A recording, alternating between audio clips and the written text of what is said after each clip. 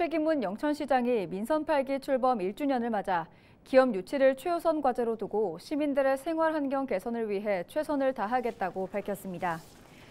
28일 영천시청 대회의실에서 열린 기자간담회에서 최 시장은 지난 1년 성과로 대구 도시철도 1호선 영천 경마공원 연장 사업, 영천 하이테크 파크 지구 경북 경제 자유구역 기업 유치, 영천 경마공원 착공 등을 꼽았습니다. 대구 도시철도 1호선 영천 경마공원 연장 사업은 지난해 연말 예비 타당성 조사 대상 사업에 선정돼 내년 상반기 예타 통과를 목표로 행정력을 집중하고 있습니다. 최기문 시장은 민선 8기 2년 차에도 사통팔달 교통망과 대도시 인근 지리적 강점을 살려 물류기업 유치에 최선을 다하겠다고 말했습니다.